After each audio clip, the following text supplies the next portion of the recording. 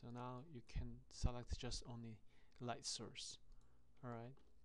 It prevents to select other objects.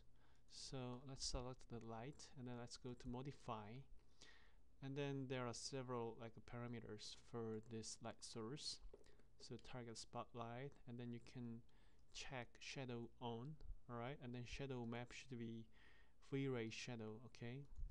So intensity gonna be um, um, in this moment at this moment I'm gonna just apply 3 and then uh, this is important thing spotlight parameter.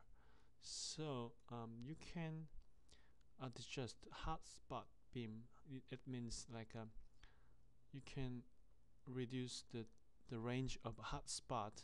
Also you can increase the range of a hot spot. So in this time I'm gonna reduce a little bit the range of hot spot and then you can next you can decrease you can increase or decrease the range of um, the falloff so it means um, from here from the from the center to here this area will be the, the brightest uh, the range. And then from here to here actually the light will be diffused so if you have like a larger um, distance from here to here you will have very soft and diffused light. If you have very um, short distance from here to here you will have very sharp and um, distinctive light okay? So alright. Okay uh, let's go to front view. And then um, for this downlight I'm gonna apply um, 30 for hot spots and then 60 for falloff. So this will be very soft and diffused downlight. And then uh, I'm gonna copy this light device uh, lighting source for other downlights. We uh, in this case I'm gonna select instance instead of copy. So and then we need two more right so now we have three downlights on the ceiling. As you can see in this rendered scene uh, these three downlight sources uh, brightened up this right part of the bedroom. But we still need uh, the primary uh, light source on the ceiling this fluorescent light. So I'm gonna add uh, the V-ray light source for this uh, primary uh, fluorescent light on the ceiling okay?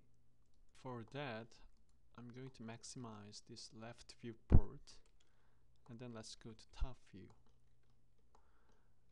Um, this the rectangle means the location of fluorescent light. So from here I'm gonna um, uh, for that I'm gonna maximize this left viewport and then let's go to top view. And then um, as you can see uh, this rectangle means the position of uh, the fluorescent light on the ceiling. So um, let's go to light and then in this case I'm gonna use V-Ray okay? And then you can select V-Ray light here. And then let's turn on the the snapping tool and then you can click here and drag. Oh I'm sorry. This um, the type the, the V-Ray light type have has to be the plane not a sphere okay? So let's change as a plane. Then um, you can click from here and, and drag until here okay? Now let's go to top view. Then um, let's move this light source to the right position. This will be the in the aperture of the, at, at the wall at the ceiling. So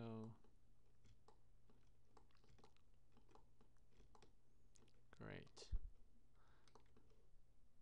and I'm I'm gonna change the V-Ray light intensity and some parameters okay? So let's select light and then let's go to modify okay? Then um,